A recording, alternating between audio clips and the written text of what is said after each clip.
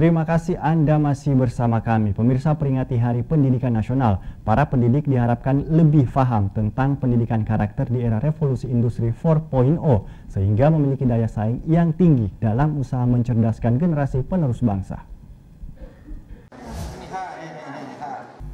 Peningkatan kualitas pendidikan sebagai faktor penting dalam pembangunan suatu bangsa seharusnya menjadi prioritas utama dan perhatian bersama. Memperingati Hari Pendidikan Nasional pada 2 Mei nanti, Unit Pelaksana Teknis atau UPT Balai Pengembangan Pendidikan Usia Dini atau PAUD bekerja sama dengan Dinas Pendidikan Provinsi Sulawesi Barat mengadakan seminar pendidikan bagi para pendidik PAUD dasar dan menengah.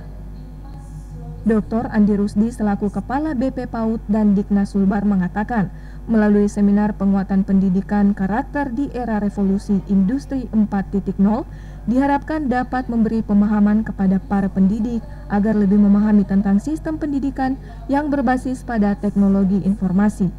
Peningkatan kualitas pendidikan yang ada di Sulawesi Barat melalui seminar ini diharapkan dapat menggerakkan hati para pemangku kepentingan agar lebih peduli pada peningkatan kualitas pendidikan yang ada di Sulawesi Barat para pemangku kepentingan di Sulawesi Barat ini agar mari kita peduli sama-sama menggerakkan pendidikan salah satu cara meramaikan Hardiknas. Bagaimana mereka lebih peduli lagi dengan tugas-tugas pendidikan ke depan yang semakin berat?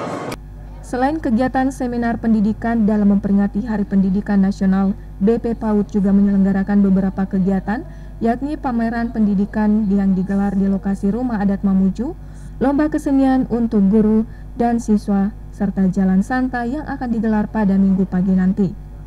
Dari Kabupaten Mamuju, Abdul Jalal Ayus melaporkan.